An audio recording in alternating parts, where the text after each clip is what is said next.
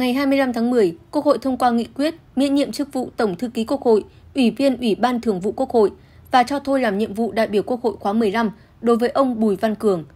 Ông Cường sẽ nghỉ hưu theo nguyện vọng cá nhân và hưởng chế độ, chính sách theo quy định hiện hành. Ông Bùi Văn Cường, 56 tuổi, tiến sĩ kỹ thuật an toàn hàng hải, thạc sĩ an toàn hàng hải, kỹ sư điều hành tàu biển, cử nhân Anh Văn, quê ở thị xã Kinh Môn, tỉnh Hải Dương. Ông là Ủy viên Trung ương Đảng khóa 11 dự khuyết, 12, 13, đại biểu Quốc hội khóa 13, 14, 15. Ông từng làm bí thư đảng đoàn, chủ tịch Tổng Liên đoàn Lao động Việt Nam. Từ tháng 7 năm 2019, ông được điều động tham gia ban chấp hành, ban thường vụ và giữ chức bí thư tỉnh ủy Đắk Lắk. Tháng 4 năm 2021, Quốc hội bầu ông giữ chức Tổng thư ký Quốc hội với tỷ lệ tán thành 96,88%. Hiện văn phòng Quốc hội có 4 phó chủ nhiệm cùng các ông bà Nguyễn Mạnh Hùng, Vũ Minh Tuấn, Nguyễn Thị Thúy Ngân và Phạm Đình Toàn.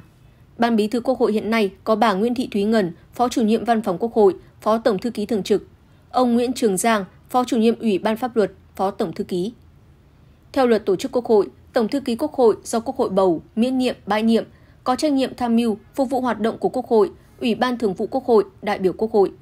Tổng thư ký có nhiệm vụ tham mưu về dự kiến chương trình làm việc, quy trình thủ tục thực hiện hoạt động của Quốc hội, Ủy ban Thường vụ Quốc hội, phối hợp với Hội đồng Dân tộc, các ủy ban của Quốc hội và các cơ quan, tổ chức hữu quan, xây dựng dự thảo nghị quyết về các nội dung do Quốc hội, Ủy ban Thường vụ Quốc hội giao.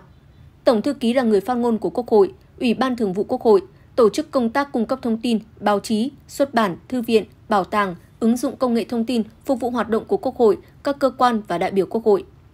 Từ đầu nhiệm kỳ năm 2021 đến nay, Quốc hội đã bãi nhiệm 4 đại biểu, cho thôi nhiệm vụ đại biểu với 14 người. Tổng số đại biểu Quốc hội khóa 15 hiện là 481.